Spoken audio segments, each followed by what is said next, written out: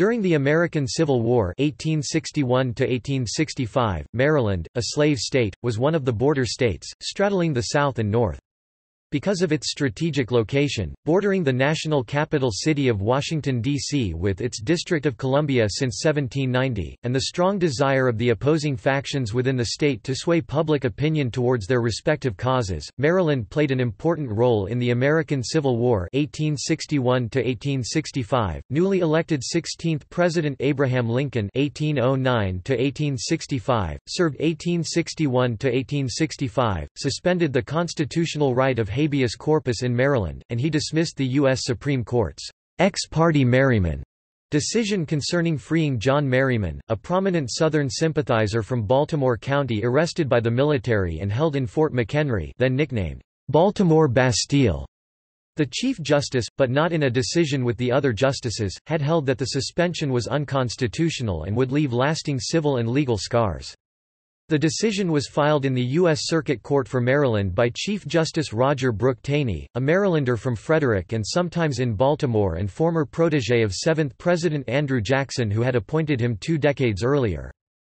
The first fatalities of the war happened during the Baltimore Civil War riots of Thursday, Friday, April 18–19, 1861, and a year and a half later with the single bloodiest day of combat in American military history occurred during the first major Confederate invasion of the North in the Maryland Campaign, just north above the Potomac River, near Sharpsburg, Maryland, Washington County at the Battle of Antietam, on 17 September 1862.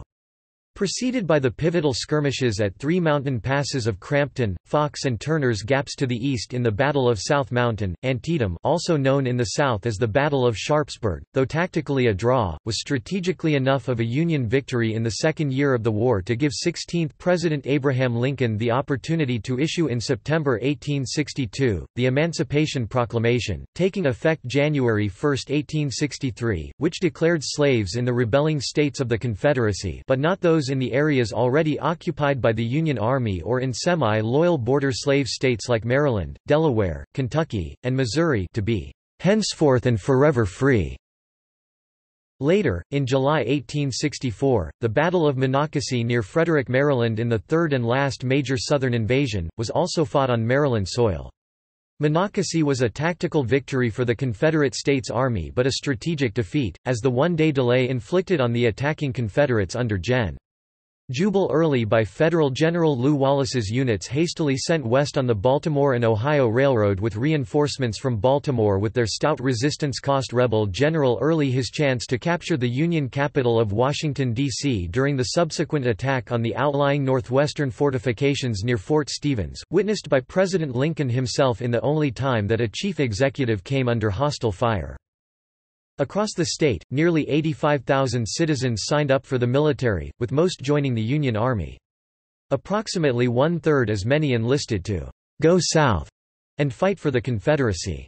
The most prominent Maryland leaders and officers during the Civil War included Governor Thomas H. Hicks who, despite his early sympathies for the South, helped prevent the state from seceding, and Confederate Brigadier General George H. Steuart, who was a noted brigade commander under Robert E. Lee in the Army of Northern Virginia before the end of the war would bring the abolition of slavery in the state of Maryland, with a new Third Constitution voted approval in 1864 by a small majority of radical Republican Unionists then controlling the nominally Democratic state. Animosity against Lincoln would remain, and Marylander John Wilkes Booth would assassinate President Lincoln on April 14, 1865, crying, Sic semper tyrannis, the Virginia state motto as he did so in Washington's Ford's Theater, then fleeing and hiding in southern Maryland for a week hunted by federal troops before slipping across the Potomac and later shot in a Virginia barn.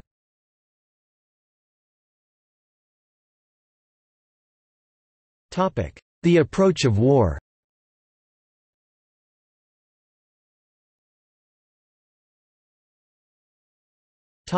Maryland's sympathies Maryland, as a slave-holding border state, was deeply divided over the antebellum arguments over states' rights and the future of slavery in the Union. Culturally, geographically and economically, Maryland found herself neither one thing nor another, a unique blend of Southern agrarianism and Northern mercantilism. In the lead-up to the American Civil War, it became clear that the state was bitterly divided in its sympathies. There was much less appetite for secession than elsewhere in the southern states South Carolina, Mississippi, Florida, Georgia, Alabama Louisiana, Texas, Virginia, North Carolina, Arkansas, Tennessee or in the border states Kentucky and Missouri, but Maryland was equally unsympathetic towards the potentially abolitionist position of Republican candidate Abraham Lincoln.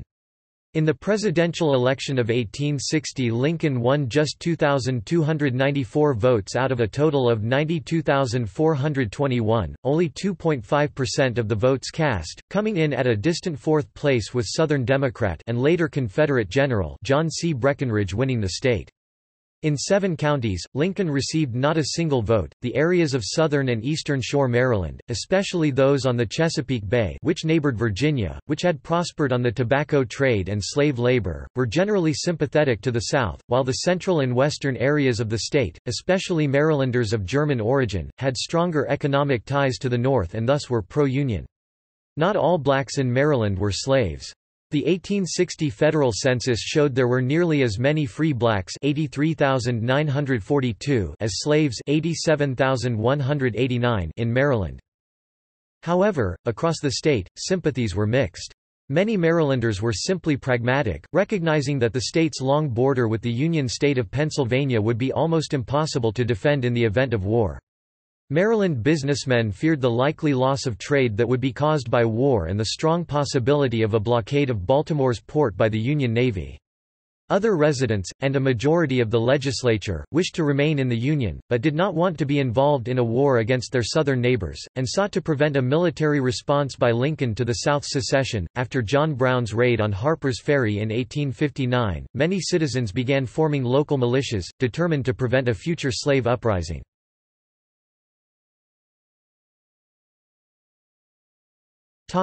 Baltimore riot of 1861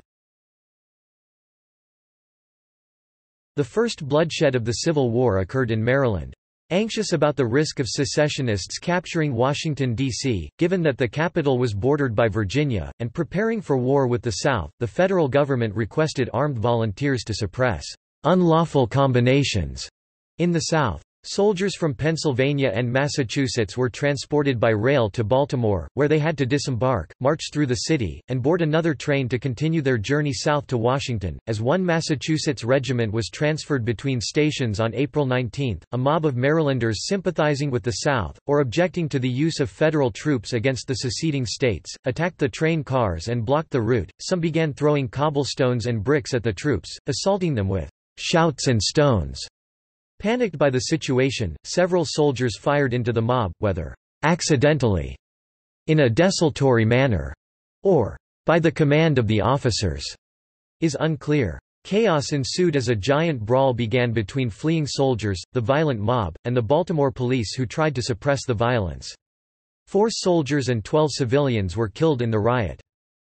The disorder inspired James Ryder Randall, a Marylander living in Louisiana, to write a poem which would be put to music and, in 1939, become the state song, "'Maryland, My Maryland'".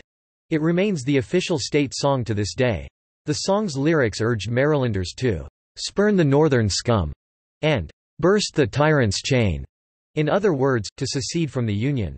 Confederate States Army bands would later play the song after they crossed into Maryland territory during the Maryland Campaign in 1862. After the April 19 rioting, skirmishes continued in Baltimore for the next month.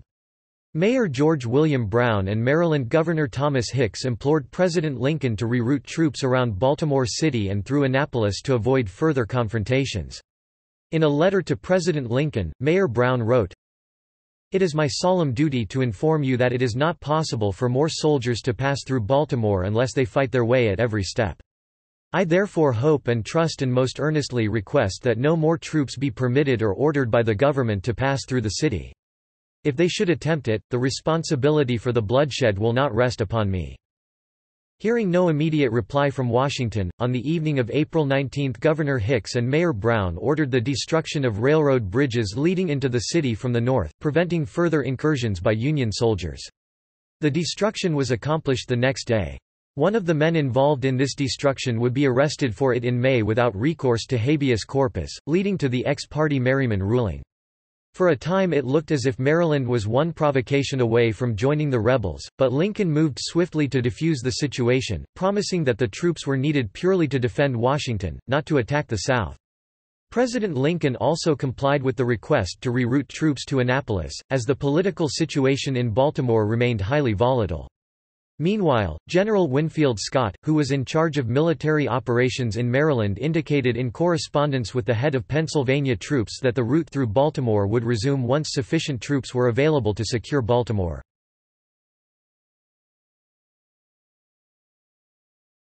To secede or not to secede Despite some popular support for the cause of the Confederate States of America, Maryland would not secede during the Civil War. However, a number of leading citizens, including physician and slaveholder Richard Sprigg Steuart, placed considerable pressure on Governor Hicks to summon the state legislature to vote on secession, following Hicks to Annapolis with a number of fellow citizens, to insist on his Hicks issuing his proclamation for the legislature to convene, believing that this body and not himself and his party should decide the fate of our state. Less than pre greater than slash pre greater than dot dot dot if the governor and his party continued to refuse this demand that it would be necessary to depose him. Responding to pressure, on April 22 Governor Hicks finally announced that the state legislature would meet in a special session in Frederick, a strongly pro-Union town, rather than the state capital of Annapolis. The Maryland General Assembly convened in Frederick and unanimously adopted a measure stating that they would not commit the state to secession, explaining that they had no constitutional authority to take such action, whatever their own personal feelings might have been. On April 29, the legislature voted decisively 53 to 13 against secession, though they also voted not to reopen rail links with the North, and they requested that Lincoln remove Union troops from Maryland. At this time the legislature seems to have wanted to avoid involvement in a war against its southern neighbors.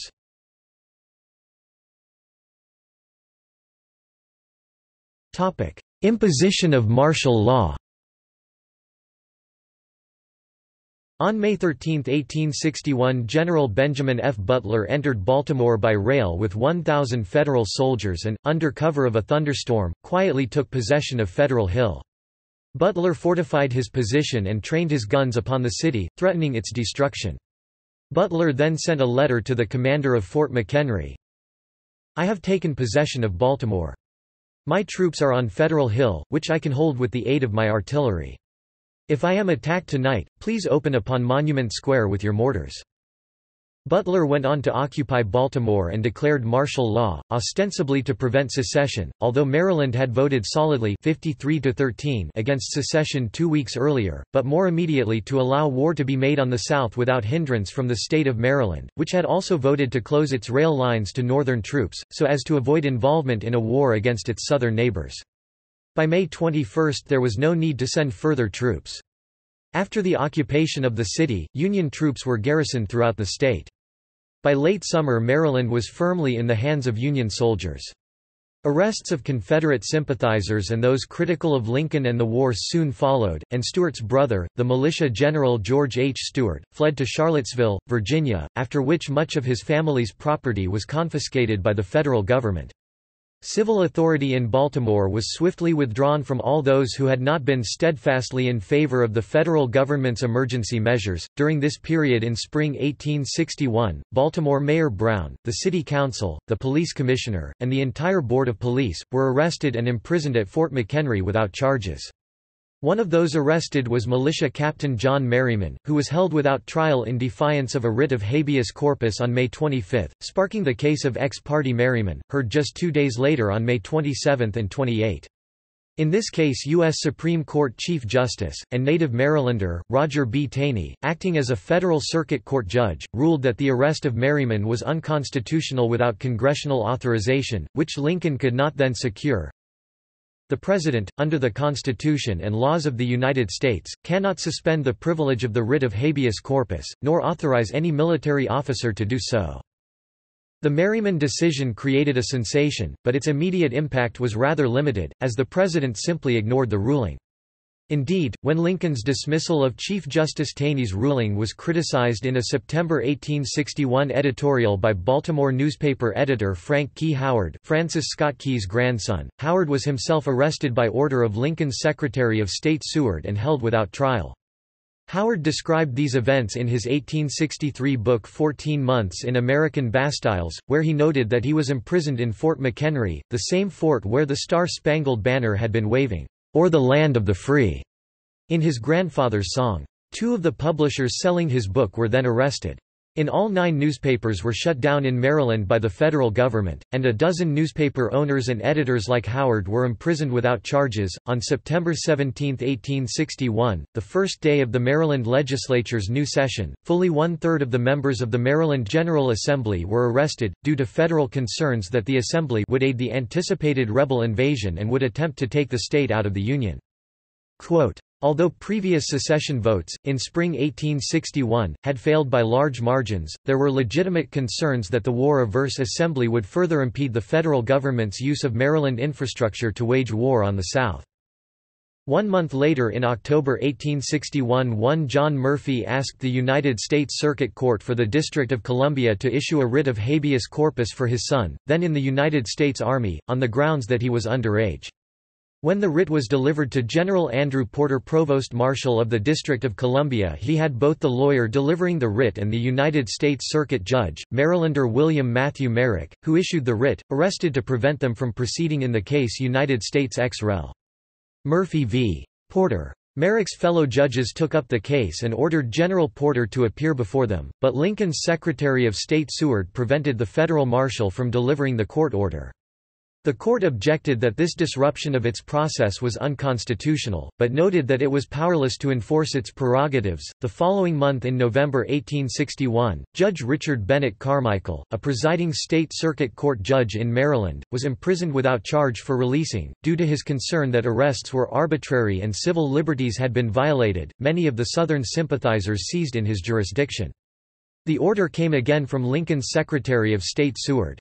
The federal troops executing Judge Carmichael's arrest beat him unconscious in his courthouse while his court was in session, before dragging him out, initiating a public controversy. In another controversial arrest that fall, and in further defiance of Chief Justice Taney's ruling, a sitting U.S. Congressman Henry May D. Maryland was imprisoned without charge and without recourse to habeas corpus in Fort Lafayette. May was eventually released and returned to his seat in Congress in December 1861, and in March 1862 he introduced a bill to Congress requiring the federal government to either indict by grand jury or release all other political prisoners still held without habeas.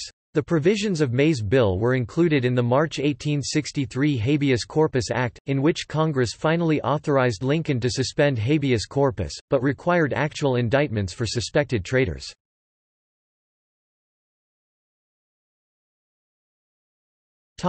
Flight to Virginia Many Marylanders sympathetic to the South easily crossed the Potomac River into secessionist Virginia in order to join and fight for the Confederacy. During the early summer of 1861, several thousand Marylanders crossed the Potomac to join the Confederate Army. Most of the men enlisted into regiments from Virginia or the Carolinas, but six companies of Marylanders formed at Harper's Ferry into the Maryland Battalion. Among them were members of the former Volunteer Militia Unit, the Maryland Guard Battalion, initially formed in Baltimore in 1859. Maryland exiles, including Arnold Elzey and Brigadier General George H. Steuart, would organize a Maryland Line in the Army of Northern Virginia which eventually consisted of one infantry regiment, one infantry battalion, two cavalry battalions and four battalions of artillery. Most of these volunteers tended to hail from southern and eastern counties of the state, while northern and western Maryland furnished more volunteers for the Union armies. Captain Bradley T. Johnson refused the offer of the Virginians to join a Virginia regiment, insisting that Maryland should be represented independently in the Confederate Army. It was agreed that Arnold Elzey, a seasoned career officer from Maryland, would command the 1st Maryland Regiment. His executive officer was the Marylander George H. Steuart, who would later be known as Maryland Steuart, to distinguish him from his more famous cavalry colleague J.E.B. Stuart. The 1st Maryland Infantry Regiment was officially formed on June 16, 1861, and, on June 25, two additional companies joined the regiment in Winchester. Its initial term of duty was for 12 months. It has been estimated that, of the state's 1860 population of 687,000, up to 25,000 Marylanders traveled south to fight for the Confederacy while about 60,000 Maryland men served in all branches of the Union military. One notable Maryland front line regiment was the 2nd Maryland Infantry, which saw considerable combat action in the Union Ninth Corps. Topic A state divided Not all those who sympathized with the rebels would abandon their homes and join the Confederacy. Some, like physician Richard Sprigg Steuart, remained in Maryland, offered covert support for the South, and refused to sign an oath of loyalty to the Union. Later in 1861, Baltimore resident W. W. Glenn described Steuart as a fugitive from the authorities. I was spending the evening out when a footstep approached my chair from behind and a hand was laid upon me. I turned and saw Dr. R. S. Steuart.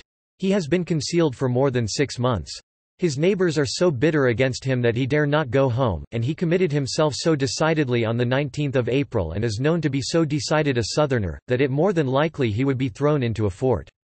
He goes about from place to place, sometimes staying in one county, sometimes in another and then passing a few days in the city. He never shows in the daytime and is cautious who sees him at any time.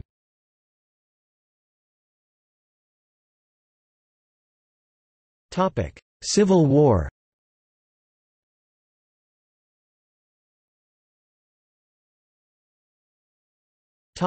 Battle of Front Royal. Because Maryland's sympathies were divided, many Marylanders would fight one another during the conflict. On May 23, 1862, at the Battle of Front Royal, the 1st Maryland Infantry, CSA was thrown into battle with their fellow Marylanders, the Union 1st Regiment Maryland Volunteer Infantry. This is the only time in United States military history that two regiments of the same numerical designation and from the same state have engaged each other in battle. After hours of desperate fighting the Southerners emerged victorious, despite an inferiority both of numbers and equipment. When the prisoners were taken, many men recognized former friends and family. Major William Goldsborough, whose memoir The Maryland Line in the Confederate Army chronicled the story of the rebel Marylanders, wrote of the battle, Nearly all recognized old friends and acquaintances, whom they greeted cordially, and divided with them the rations which had just changed hands. Among the prisoners captured by William Goldsborough was his own brother Charles Goldsborough. On 6 September 1862 advancing Confederate soldiers entered Frederick, Maryland, the home of Colonel Bradley T. Johnson, who issued a proclamation calling upon his fellow Marylanders to join his colors. Disappointingly for the exiles, recruits did not flock to the Confederate banner. Whether this was due to local sympathy with the Union cause or the generally ragged state of the Confederate Army, many of whom had no shoes, is not clear. Frederick would later be extorted by Jubal Early, who threatened to burn down the city if its residents did not pay a ransom. Hagerstown too would also suffer a similar fate.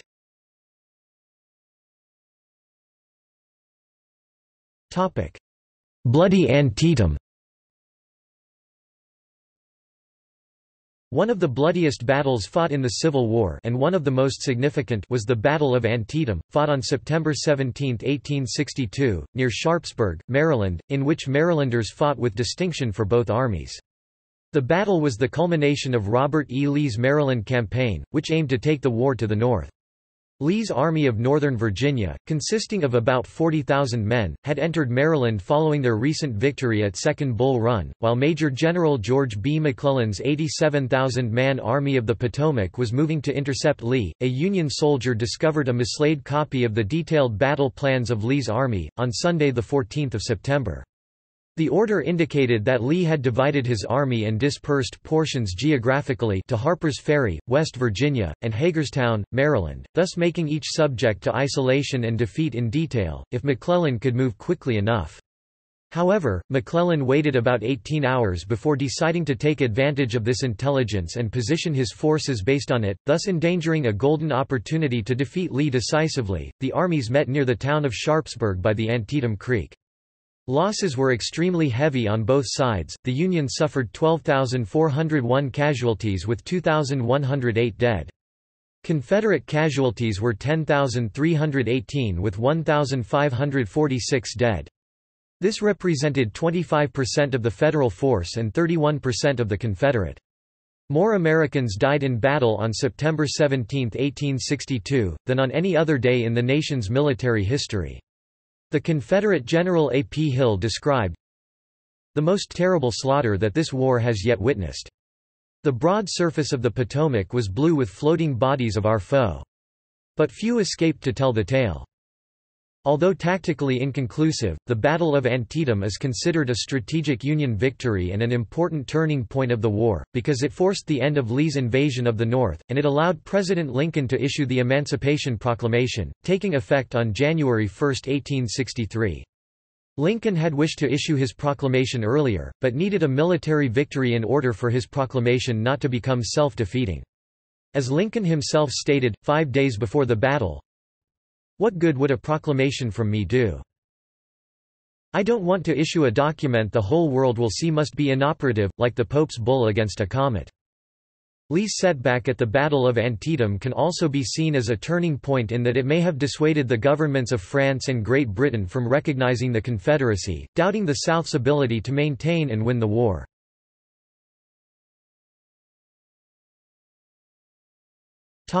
March to Gettysburg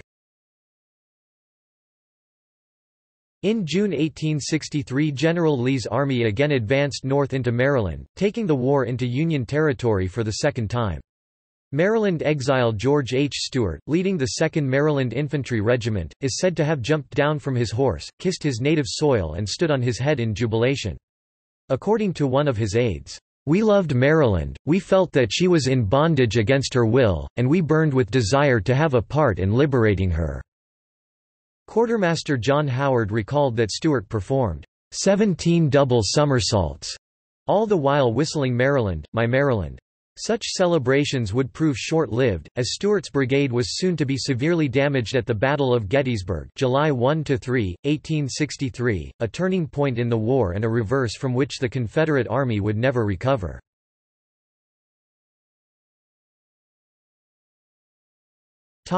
Battle of Monocacy In 1864, elements of the warring armies again met in Maryland, although this time the scope and size of the battle was much smaller. The Battle of Monocacy was fought on July 9, just outside Frederick, as part of the Valley Campaigns of 1864. Confederate forces under Lieutenant Gen. Jubal A. Early defeated Union troops under Maj. Gen.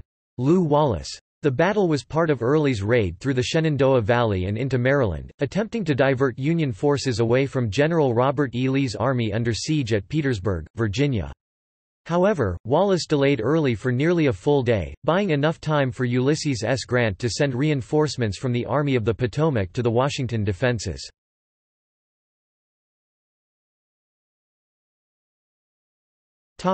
Prisoners of war Thousands of Union troops were stationed in Charles County, and the federal government established a large, unsheltered prison camp at Point Lookout at Maryland's southern tip in St. Mary's County between the Potomac River and the Chesapeake Bay, where thousands of Confederates were kept, often in harsh conditions. Of the 50,000 Southern soldiers held in the Army prison camp, who were housed in tents at the point between 1863 and 1865, according to the Maryland Department of Natural Resources, Maryland Park Service nearly 4,000 died, although this death rate of 8% was less than half the death rate among soldiers who were still fighting in the field with their own armies. The harshness of conditions at Point Lookout, and in particular whether such conditions formed part of a deliberate policy of vindictive directives from Washington, is a matter of some debate. The state capital Annapolis's western suburb of Parole became a camp where prisoners of war would await formal exchange in the early years of the war. Around 70,000 soldiers passed through Camp Parole until Lieutenant Gen. Ulysses S. Grant assumed command as General-in-Chief of the Union Army in 1864, and ended the system of prisoner exchanges.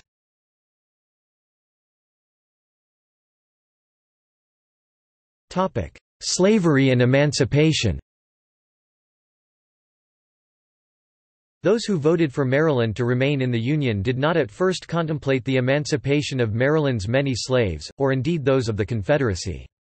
In March 1862 the Maryland Assembly passed a series of resolutions, stating that This war is prosecuted by the nation with but one object, that, namely, of a restoration of the Union just as it was when the rebellion broke out. The rebellious states are to be brought back to their places in the Union, without change or diminution of their constitutional rights. In other words, as far as Marylanders were concerned, the war was being fought over Union, not over slavery. And, because Maryland had remained in the Union, the state was not included under the Emancipation Proclamation of January 1, 1863, which declared that all slaves within the Confederacy but not those in border states like Maryland would henceforth be free. It was not until 1864 that a constitutional convention was held which would address the issue of slavery in Maryland.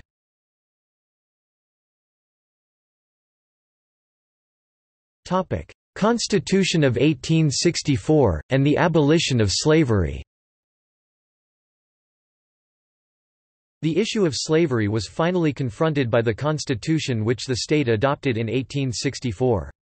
The document, which replaced the Maryland Constitution of 1851, was largely advocated by Unionists who had secured control of the state, and was framed by a convention which met at Annapolis in April 1864. Article 24 of the Constitution at last outlawed the practice of slavery. One feature of the new constitution was a highly restrictive oath of allegiance which was designed to reduce the influence of Southern sympathizers, and to prevent such individuals from holding public office of any kind. The new constitution emancipated the state slaves who had not been freed by President Lincoln's Emancipation Proclamation, disenfranchised Southern sympathizers, and reapportioned the General Assembly based upon white inhabitants. This last provision diminished the power of the small counties where the majority of the state's large former slave population lived. The Constitution was submitted to the people for ratification on October 13, 1864 and it was narrowly approved by a vote of 30,174 to 29,799 50.31% to 49.69% in a referendum widely characterized by intimidation and fraud. This was a controversial result, given the state's Confederate ties and sympathies. Those voting at their usual polling places were opposed to the Constitution by 29,536 to 27,541. However, the Constitution secured ratification after Maryland soldiers' votes were included in the count. Marylanders serving in the Union Army were overwhelmingly in favor 2,633 to 263.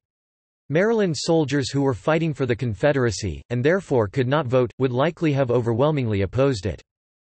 The new constitution came into effect on November 1, 1864 and, while it emancipated the state slaves, this did not mean equality for them, in part because the franchise continued to be restricted to white males.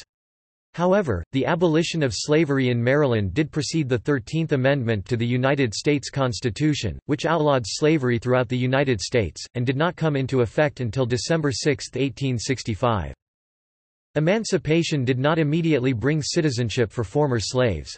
The Maryland legislature refused to ratify both the Fourteenth Amendment, which conferred citizenship rights on former slaves, and the Fifteenth Amendment, which gave the vote to African Americans. The right to vote was eventually extended to non white males in the Maryland Constitution of 1867, which remains in effect today. The Constitution of 1867 overturned the registry test oath embedded in the 1864 Constitution.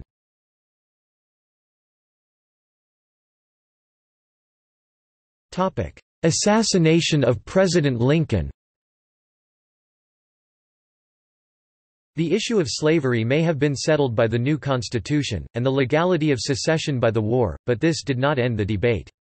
On April 14, 1865 the actor John Wilkes Booth assassinated President Abraham Lincoln at Ford's Theater in Washington, D.C. Booth was born in Harford County, Maryland, a northern county on the Pennsylvania border, which had few slaves. After he shot Lincoln, Booth shouted, Sic semper tyrannis, thus always to tyrants. Other witnesses—including Booth himself—claimed that he only yelled, Sic semper. Some didn't recall hearing Booth shout anything in Latin. Some witnesses said he shouted, The South is avenged. Others thought they heard him say, Revenge for the South, or The South shall be free. Two said Booth yelled, I have done it. After shooting the president, Booth galloped on his horse into southern Maryland, where he was sheltered and helped by sympathetic residents and smuggled at night across the Potomac River into Virginia a week later. In a letter explaining his actions, Booth wrote, I have ever held the South was right. The very nomination of Abraham Lincoln, four years ago, spoke plainly war upon Southern rights and institutions. And looking upon African slavery from the same standpoint held by the noble framers of our Constitution, I for one, have ever considered it one of the greatest blessings both for themselves and us, that God has ever bestowed upon a favored nation. I have also studied hard to discover upon what grounds the right of a state to secede has been denied, when our very name, United States, and the Declaration of Independence, both provide for secession.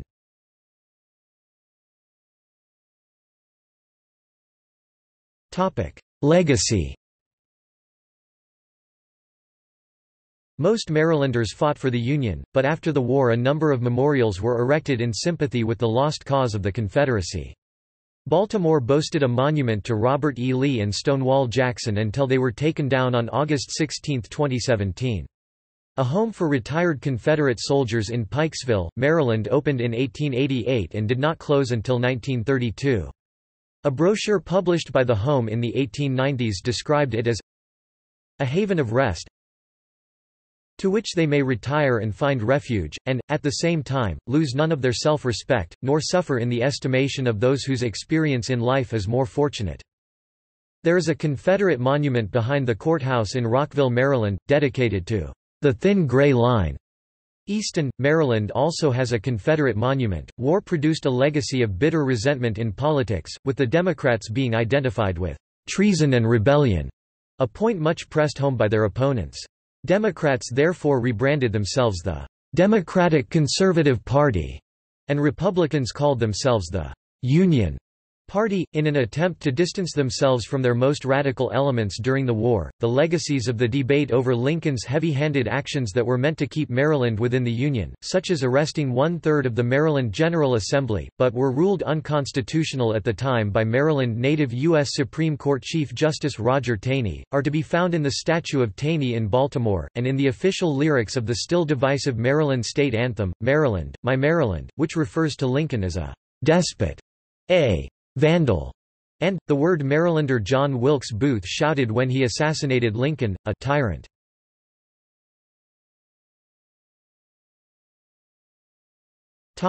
See also.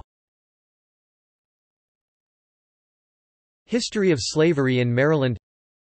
History of the Maryland Militia in the Civil War. List of Maryland Union Civil War units. List of Maryland Confederate Civil War units Maryland Line CSA